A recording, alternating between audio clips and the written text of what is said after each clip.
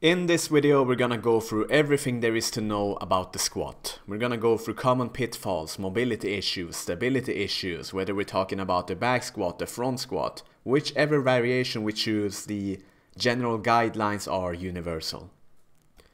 This video is a bit detail oriented and lengthy for being just a YouTube video if you will, but I ask for your patience as I am sure if you're into strength training and the science behind the squat, you're gonna learn a lot of new things from here. So we will begin this video with a little basic anatomy because I want you to know the function of each joint, of each muscle part and ligament, anything that has to do with the squat. And then we will go through correct and incorrect patterns and basic solutions to solve those incorrect patterns. What I want you to understand is that the reason for any kind of dysfunction or difficulty or technical error, if you will, when it comes to the squat, it all begins with general knowledge in anatomy. As simple as that because every body part has a specific function. If you were to build a house, you need to know the purpose of each structure of the house. If you are a car mechanic, you need to know the purpose of every structure in the car, every part of the car. But for some reason, in the world of strength training and sports, we are just going into this blindly. We are guessing our way forward. We're overly worried about our performance in the sport itself, and we seem to be very nonchalant when it comes to our own body, like how the structures provide for the sporting movement themselves. Like, this is an important point. I'm not saying you should dive deep into this and become obsessive about it. No, you're an athlete, not a physiotherapist, but just because you're an athlete, it doesn't mean that you should disregard every other mental model out there. You should know the basics of any mental model that is useful for your athletic career, and anatomy is one of them. Anyhow, this is how a textbook, full depth high bar back squat looks like from a world class Olympic weightlifter. Can you tell me how many of the body's joints were visible here? How many of them were predominant here? Now, I might be a little bit biased considering I have a background in Olympic weightlifting, but I believe that if you want to tr truly study the most aesthetically pleasing squats in all of sports, you should study the Olympic weightlifters. When you squat, there are three main joints that are active. We have the knee, the hips, and the ankles. And those are the levers, so to speak, that will allow you to complete a full depth squat.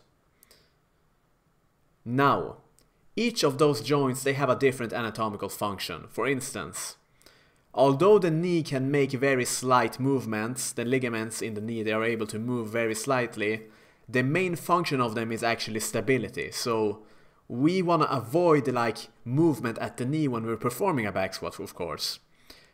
But if we study the hips, for instance, we can see that it is pretty much anatomically made to move. It can move in every plane of direction. So we can categorize those main, if you will, uh, the main body parts of your body, like categorize them in stability joints and mobility joints. And we're gonna go through all of this later in the video. But if we do this, our work gets a lot more easier. And to study like the dysfunction of a squat, maybe your backgrounds, maybe you can't go deep enough, maybe you shift to one side more than the other. Then we have to ask ourselves, do I have enough mobility in the mobility joints and do I have enough stability in the stability joints? And this is the purpose of this whole video, to really help you give you this anatomical basis of how everything works and give you the appropriate solutions for any dysfunctions. In other words, you need to be able to perform a squat with healthy biomechanics. So, that begs the question, what is considered healthy biomechanics? It's gonna depend on who you ask, of course, whether it is a professor, whether it is a commercial gym goer, whether whoever you ask, you're gonna get a different definition, obviously. But I go by this definition.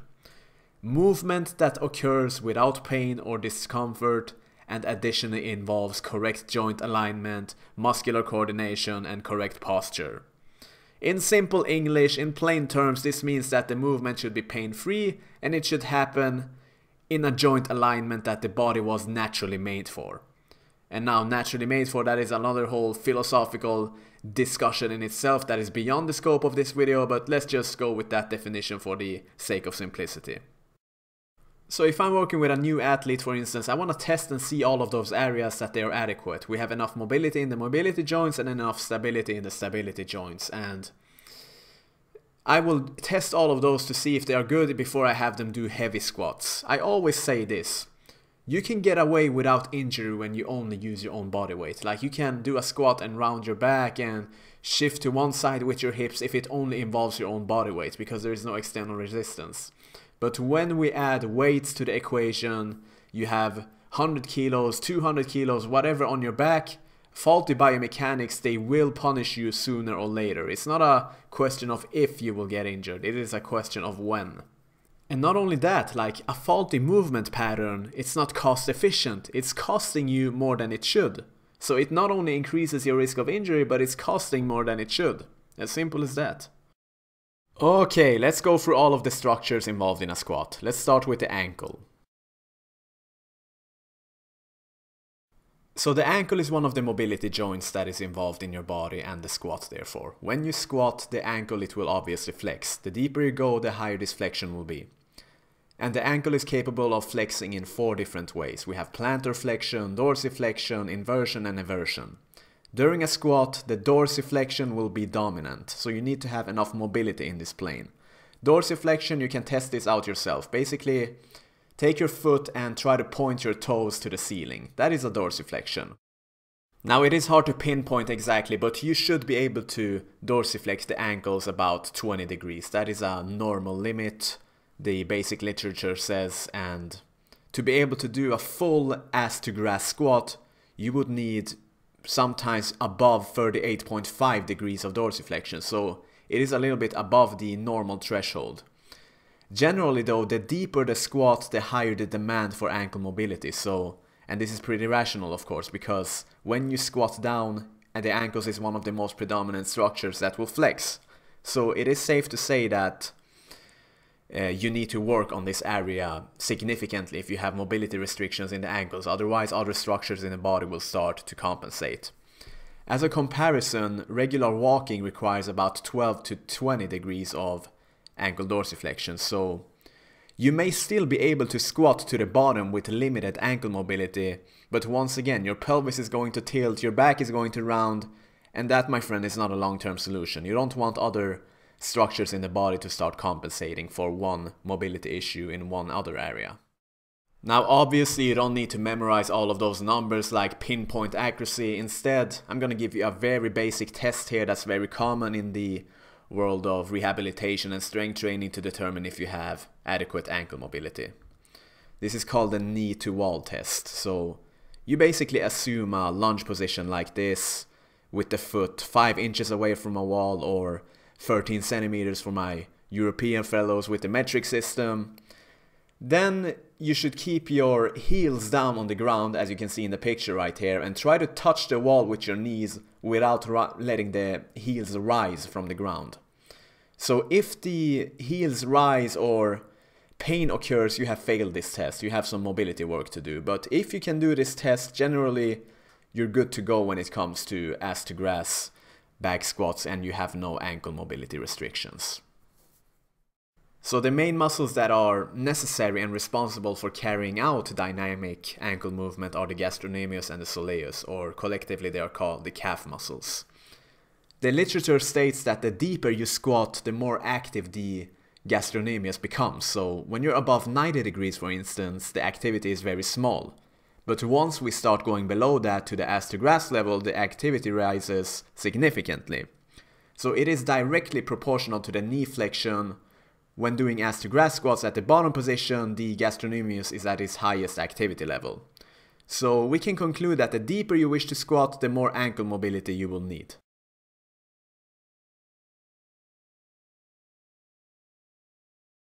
So to assess if you have any weak points, in addition to the knee to wall test, you can do a simple bodyweight squat as well. Just stand in a shoulder width position and point your knees out approximately 7 degrees as this is the normal anatomical baseline and see if anything starts to happen. Watch out if your ankles start to shift to one side, if your heels rise from the floor, if your back starts to round. Do all of this and see, test it out for yourself and see what happens. Try to spread the weight evenly throughout the whole foot like a triangle as you see in the picture here. This is the textbook cue for when it comes to the center of balance on the feet when you're performing the back squat or any squat.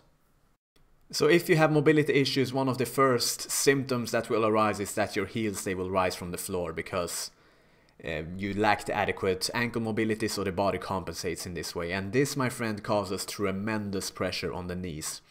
You can see in this study below where they discovered that the forces on the ACL joint which is one of the joints in the knee we're gonna go through later in this video they increase dramatically when the heels are raised versus when they remain flat on the surface of the ground. You can see here the first number represents the ankles or the heels rather remaining intact on the floor and the second number represents when the heels rise from the floor. So you can see it's a lot more force and pressure on the ACL joint here. So what happens when you lack the adequate ankle mobility and you try to squat with a zillion kilograms or pounds on your back?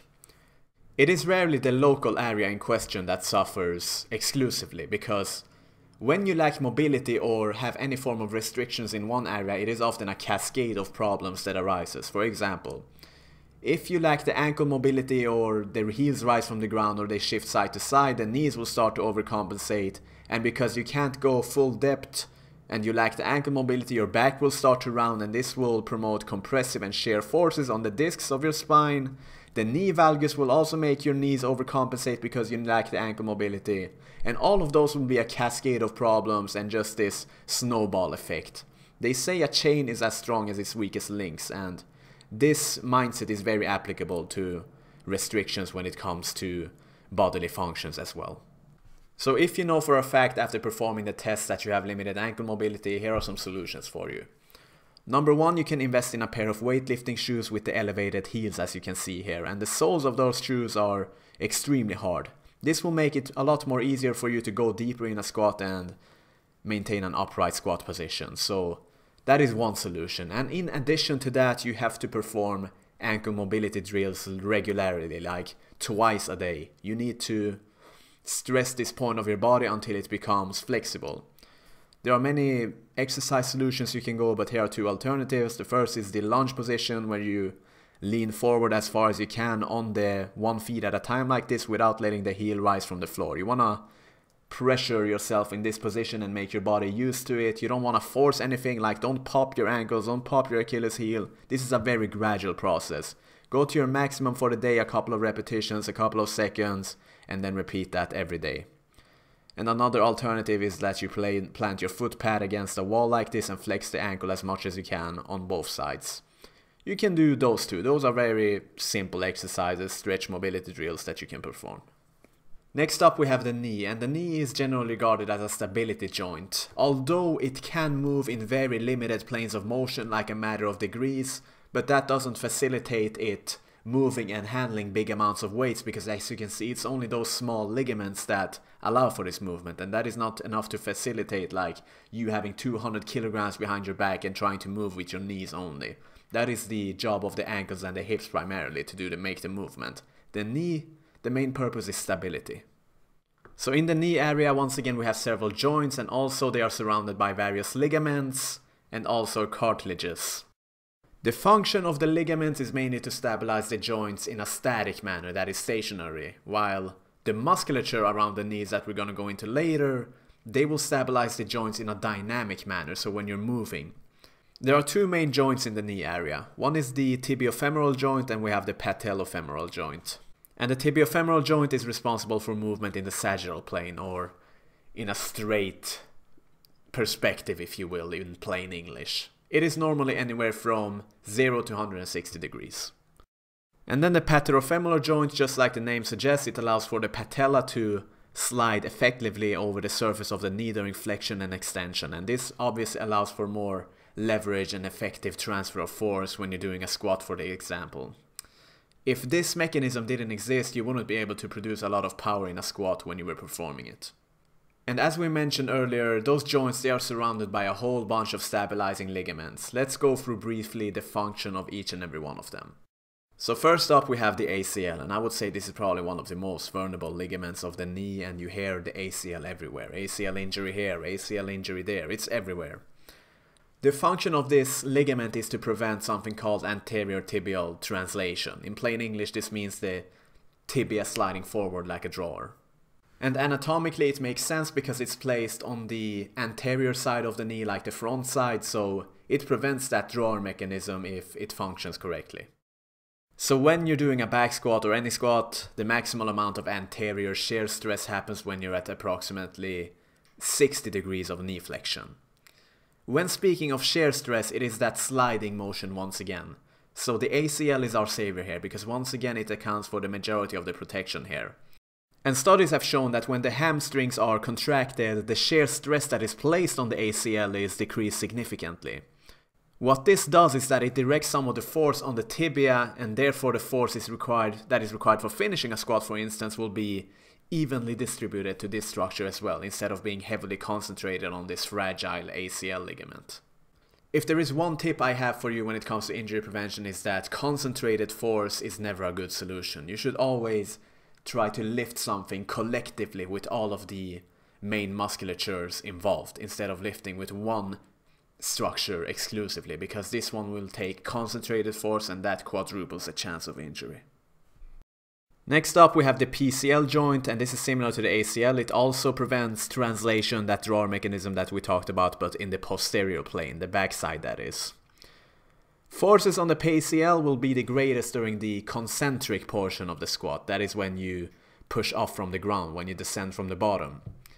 And PCL injuries, however, are way more, way less common than other ligaments. The vast majority of lifters will most probably injure their ACL, and the vast majority of lifters will never reach a high enough weight that will be a real danger to the PCL. It is often not like a squat injury that leads to this. It is probably other like traumatic injuries from, I don't know, an accident or something.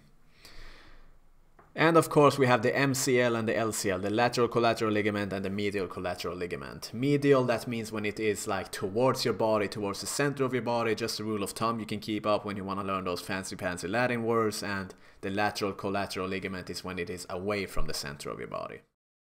And the function of those two ligaments is to fight excessive side to side movements of the knee as you can see here where they go way beyond the center line as demonstrated by the picture varus and valgus that is, but valgus I would say is way more common when we're talking about squats, like the knees rotating inside. And this can be solved through a number of ways that we're gonna go through later. Now, let's talk about squat depth. This is a pretty broad issue, if you will. I will tell you this, that the science says that the higher the knee flexion and consequently squat depth that is, the higher the compressive forces will be. And But this is not necessarily a bad thing.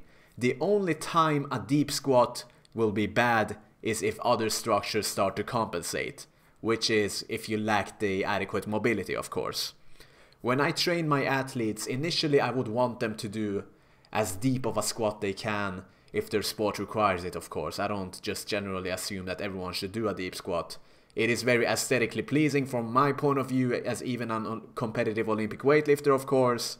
But I will never force a position if their body is not ready for it yet. Like, I will tell them to do a deep ass to grass squat, yes, if they can do it without anything having to compromise, yes, but if something has to compromise, we have some mobility work to do first we cannot see something from like one point of view or our own point of view. Like if I am flexible as an octopus, I cannot expect another athlete to be that way. There's levels to this game. Some people are genetically more flexible. There is different lengths of limbs. All of that, it varies dramatically sometimes. And we have to respect this as coaches and solve it adequately.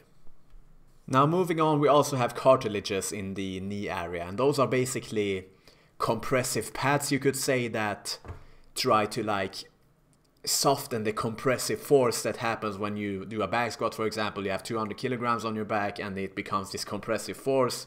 Those are the cartilages that are responsible for easing that compressive force. And one of the most basic ones are the meniscus of course. That is one of the cartilages. And we also have the articular cartilages.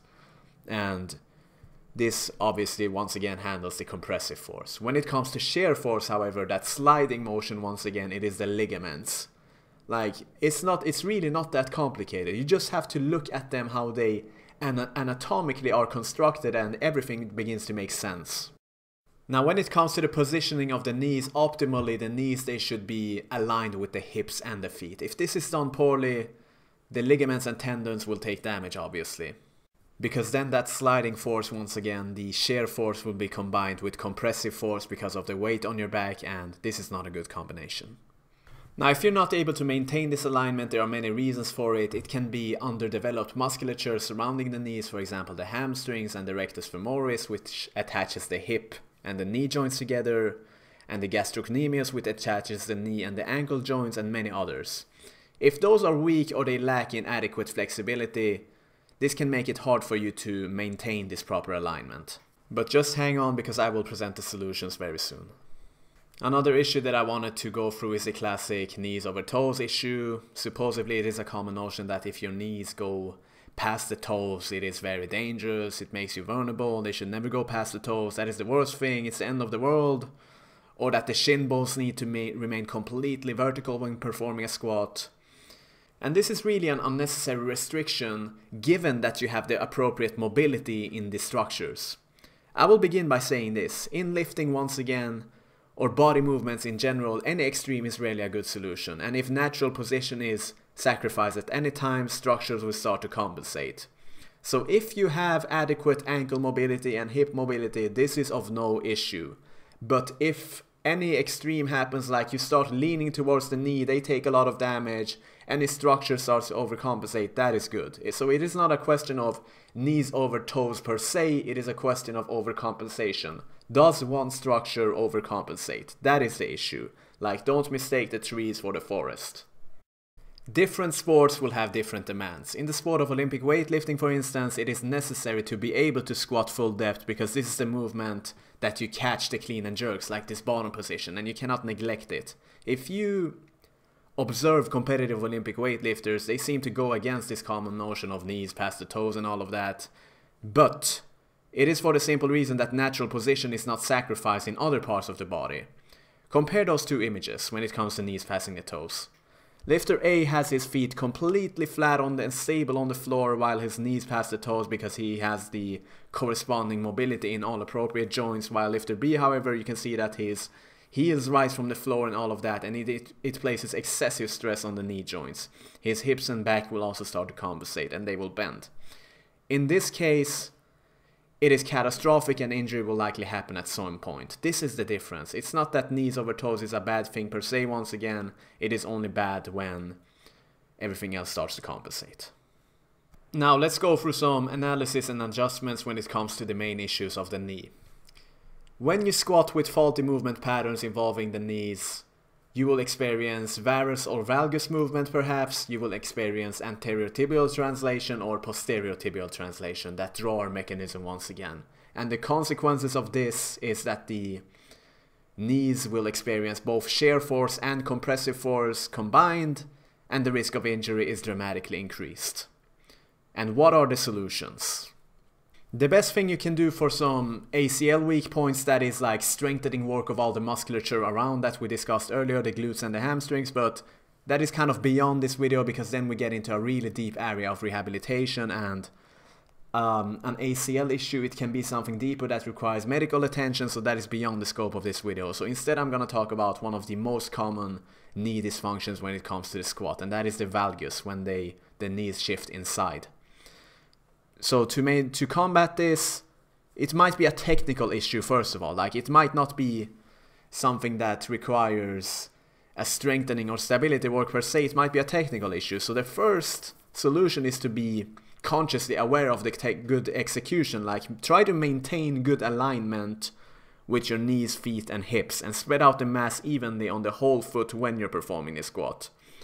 And also you can perform banded squat and consciously push the knees out against the resistance. Like when you have a pair of bands on you when you do the squat, it makes it pretty easily to naturally push it out because you will have this resistance. And this will really teach your brain how to perform the movement correctly and get this uh, motorics correct. This is something that you have to do if you want to combat this valgus, which is one of the most common knee dysfunctions when it comes to the back squat or any squat in general. Next up we have the trunk. Now when we are speaking of the trunk it is often referred to the spine, both the thoracic and the lumbar, and all of the core musculature surrounding it. Let's go through the spine quickly so that we're on the same page. Now depending on the region of the spine it is capable of moving but very minor movement. The spine consists of 24 movable segments of vertebra and each of the vertebra can display about 3 degrees of movement, some being more flexible than others. Now, just because the vertebra can be moved, it doesn't mean that you should always lift with your spine alone. Sure, you can sit with a bent back for hours and get away with it. You can do minor movement that only requires your own body weight. But when we add weights to the equation once again, especially heavy weights, it becomes a whole nother thing. And you need to start incorporating your muscles here and lift the weight with everything collectively. And between each of those vertebrae there exists a disc, and inside the disc in the core of it there is something called nucleus pulpus. Those discs they will hold each vertebra together and act as shock absorbers. And once again allow for dynamic movement to a certain extent. So for example, when you bend your back to pick something up, this disc will get squeezed, the jelly that is. As a natural instinct you might even place one hand on the upper thigh as you bend down to instinctively relieve the stress. Now, now you're just bending with your body weight, you're gonna get away with it. It's okay once again. But the problem is when external weights once again come into the equation. When you have 200 kilograms on your back, what happens then when you lift with this bent back? All of the compression, it will be concentrated to one specific disc, one vertebra, like one area. This hyperconcentration, when shear force and compressive force once again is combined, it can end catastrophically long term. So your job in any lifting movement, whether we're talking about the back squat, the deadlift, any lifting movement in the gym is to put the spine in a neutral position so that the discs remain centered with an even compression.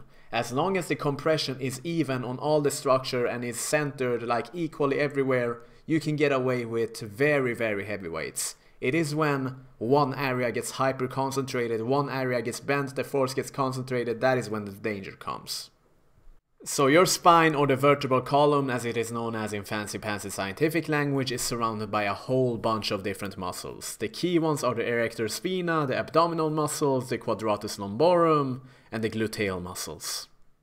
And speaking of the glutes, this is not always obvious but they actually play a very large role as well when it comes to stabilization of the spine. And all of those muscles they can be further divided into subcategories but Collectively, their purpose when it comes to the squat is to provide with stability, because once again the spine is very fragile. It's just those bunch of vertebrae with some discs in between them, so we need to engage all of those muscles so that they sort of isolate the spine and we lift a heavy weight collectively with all of the structures and nothing gets left out individually. So some subcategories of the abdominal muscles are the rectus abdominis, otherwise known as the six-pack muscles, the purpose of this one is to flex the trunk and prevent extension of the spine and forward tilting of the pelvis if you will. Then we also have the oblique muscles, those are the ones that are located to the side, like the side muscles on the abdominal region, and they will stabilize the core and provide with lateral stability so that you don't shift side to side. And finally we have the transversus abdominis, which is located more deeply, and it also provides stability of course.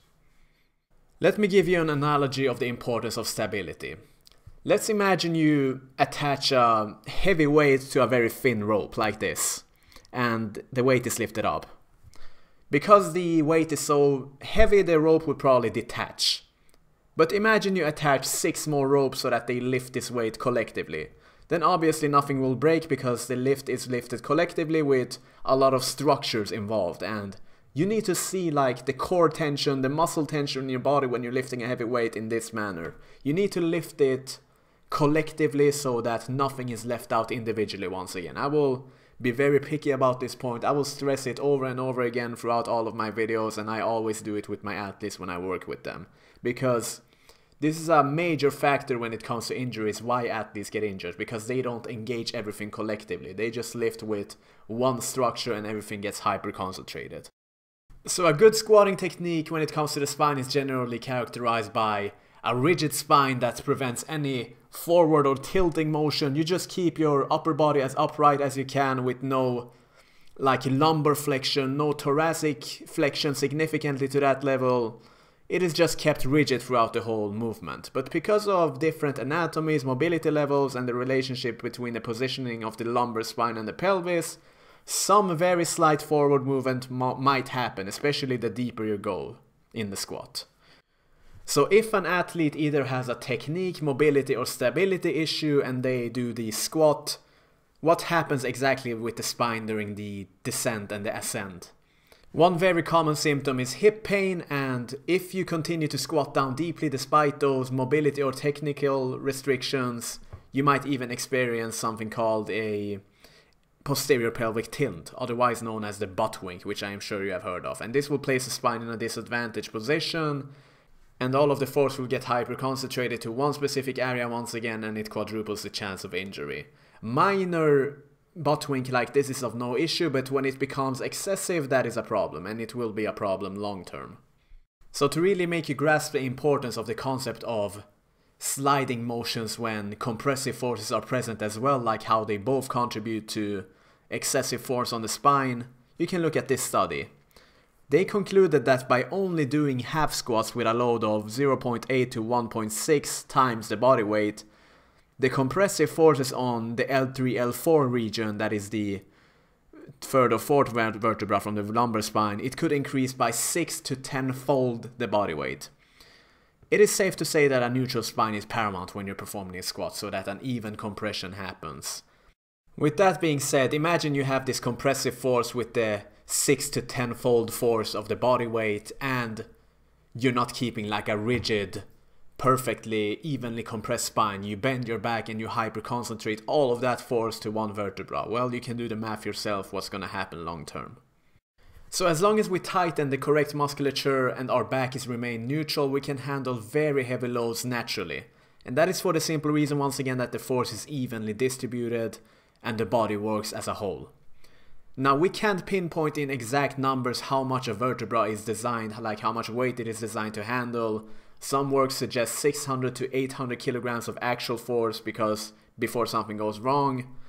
But that's not important because none of us will reach such numbers ever anyways. Just know this, as long as the force is straight down in a straight line instead of like this twisting or bending fashion, we will be fine. And as long as we correct the right musculature so that they isolate the spine so that it remains evenly and flat, we will be fine. Just by a 2 degree increase in extension of the spine from a neutral position, generally speaking you can increase the compressive force on the disc annulus by 16% and that is very significant, just by 2 degrees. Now imagine what happens if you exaggerate this even further, and imagine what happens if you do this day after day, just forcing your body into a position it's not even ready for yet, you keep increasing the weights despite this limitation in even compression of the spines, what, what is gonna happen? It is no wonder why back injuries have become an epidemic, like amongst commercial gym goers who have no idea what they're doing. And one more thing I want to talk about before we go to the analysis and the adjustments is the location of your gaze. Like, research it shows when you look forward or slightly up, it actually makes it easier to maintain an upright posture and a neutral spine. So really think about your gaze when you're doing a squat. Like, don't look down on the ground. Look forward or slightly up. Trust me, this will make it easier for you to remain upright. This is very visible if you observe the Olympic weightlifters. They, when they ascend the squat, they always like try to look slightly upwards and it really helps them to keep this upright posture. So when analyzing faulty movement patterns involving the trunk, it is often excessive flexion or extension of either the thoracic spine or the lumbar spine, most commonly the lumbar spine. We can allow slight flexion or extension of the thoracic spine, but when the lumbar spine is way more vulnerable in this area and it is like very important to keep the lumbar spine especially neutral. Extension or every any flexion of the spine at any time during the lift, like this dynamic, if it starts throughout the lift, that is even worse. Like at least if you're gonna bend a little bit, it should be bent all the time. Like it shouldn't move at any time during the lift. This is when that concentration of force happens. And also this excessive posterior pelvic tilt that we talked about, butt wink, that is also a bad symptom of faulty movement pattern in involving the trunk. All of those factors will collectively once again lead to concentrated force at a specific point, at a specific vertebra or a disc, and the risk of injury is dramatically increased. Now, what are the solutions to all the problems related to the trunk and the spine in general? First of all, it can be like a technical issue, like a technique biomechanics issue, or it can be a dysfunction at another area. For the former, be con conscious about the correct mechanics of a squat. Like keep a proper core tension, keep a neutral spine, head high, chest up, feet evenly planted on the ground, all of this. And if it is a dysfunction, when it comes to the spine problems like your back bending and all of that, it is rarely like problems at the spine itself. It is other regions of your body that are making you suffer. Like for example, like we talked about earlier.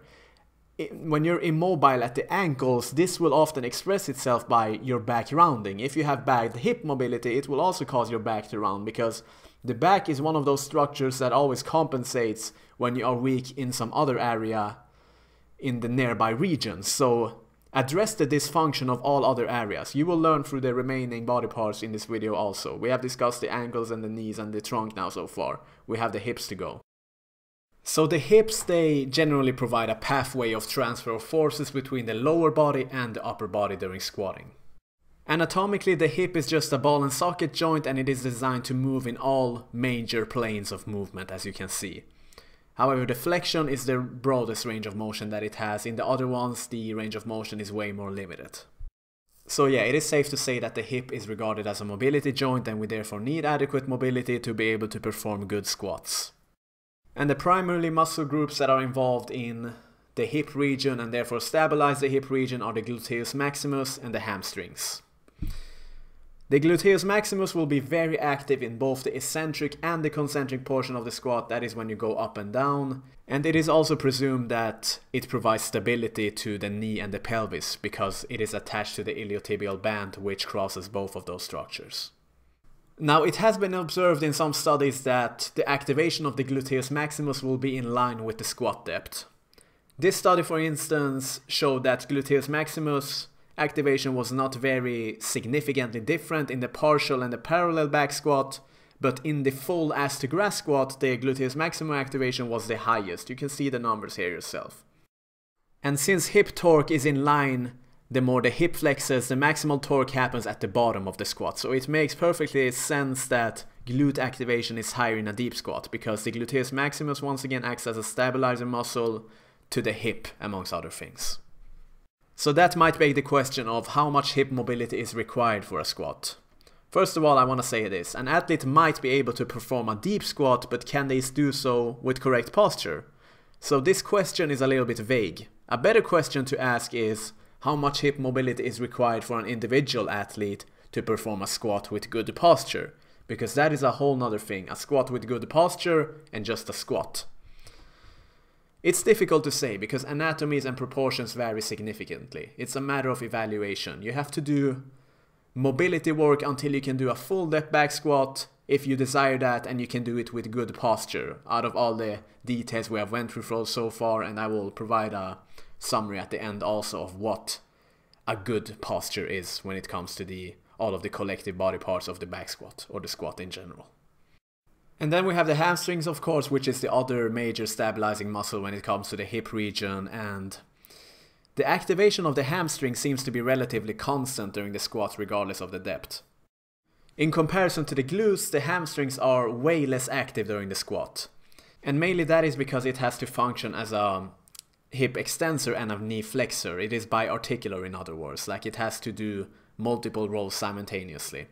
So when it comes to raw activation, you can actually activate the hamstring much more in an exercise like the stiff leg deadlift or a Romanian deadlift, for instance. So what happens when you lack the necessary hip mobility or the stability of the, all the musculature surrounding the hip? One compensatory mechanism is the lumbar flexion at the bottom once again, the butt wink, similar to the previous point of the other structures that we talked about. And because you can't move about your hips when you descend and ascend a squat, what's gonna happen? Well, you're gonna overcompensate at the back, it's gonna round also once again, your heels are gonna rise from the ground. All of this, like, it is related to the previous points once again. Like, one problem, like I said, it is related to all of the previous dysfunction at other areas as well, because it's rarely like one specific thing that gets affected. affected. It's a cascade of different things. Consequently, like all of those factors, once again, they will lead to force being concentrated at one specific point of the body and risk of injury is dramatically increased. What are some solutions? Number one is to, like it can be either a mobility issue or a stability issue, but if you're like unsure, you shouldn't like guess. You can do both of them simultaneously. Just do mobility work and stability work simultaneously. Like the pigeon stretch, the knee to chest stretch. Stretch all of the stretch the glutes and the hamstring area to really open up those hips. There's a lot of solutions, like you don't need my video for it. There is a million of different stretches and exercises you could do. You can probably find that out yourself if you found out my video. The hard part is just doing it consistently, like day after day after day, like not skipping every day. This is a very gradual thing and you have to remain consistent. It's not going to affect you if you just do it once a week. You have to do it, you have to be consistent. And the musculature involving the hips, like we talked about, that is the glutes and the hamstrings mainly. So you have to strengthen those areas. You can do lateral band walks, you can do the clamshell, the single leg Romanian deadlift, the banded squats. There is many solutions. Once again, it's about consistency. There is like no secret exercise per se like that. You just have to choose one specific concept and stick to it. So here is a little summary of the major concept that I have discussed today. Like here is a little graph that I have divided every single body part, their function, like a suboptimal pattern and an optimal pattern. And you can just screen through this and see what you need the most work in. You can make your work easier by dividing like the structures of your body once again to stability joints and mobility joints and test all of those things I have given you, like record yourself doing a back squat, a regular squat, whatever, see if any of those symptoms appear and just attack them one by one accordingly to finally achieve that aesthetically pleasing and anatomically correct squat. Thanks for watching, good luck.